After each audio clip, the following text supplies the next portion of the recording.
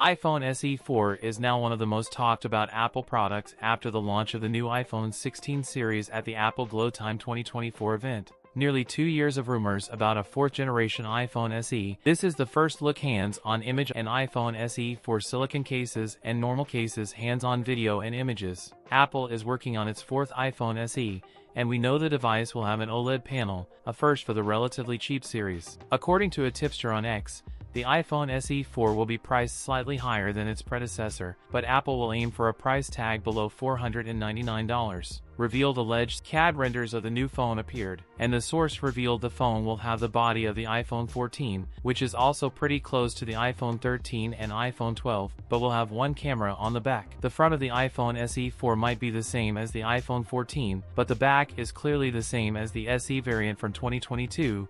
The big unknown is whether Apple will keep the dated 12MP sensor or will introduce a more powerful camera capable of night mode, which was missing last time. These CAD renders do not have an action button or mute switch next to the volume keys.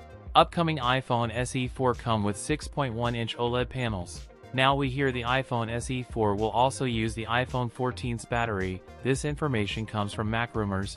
iPhone SE series is known for the outdated hardwares, because Apple used the old hardware to reduce the price which are significantly lower compared to the regular phones that is why we used to see regular gap between each SE model. That's it for today's video, if you enjoyed it don't forget to like, comment, and subscribe for more content. Thanks for watching, and I'll see you in the next one.